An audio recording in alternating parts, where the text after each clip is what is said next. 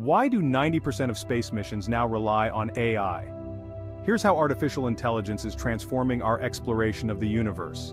Space, the final frontier. We've always dreamed of exploring it. Now, AI is making those dreams a reality. Artificial intelligence is changing how we discover the cosmos. AI helps us plan missions faster. It controls spacecraft with precision. It even helps us find new planets.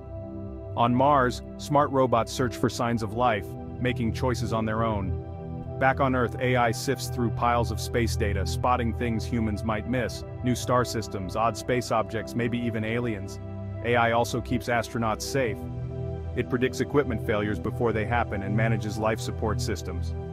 In the future AI might run entire space stations. As we push deeper into space, AI will be our trusted co-pilot. It will help us solve cosmic mysteries and might even help us find a new home among the stars. With AI by our side, the universe is within our reach. Please like, subscribe, and share this video.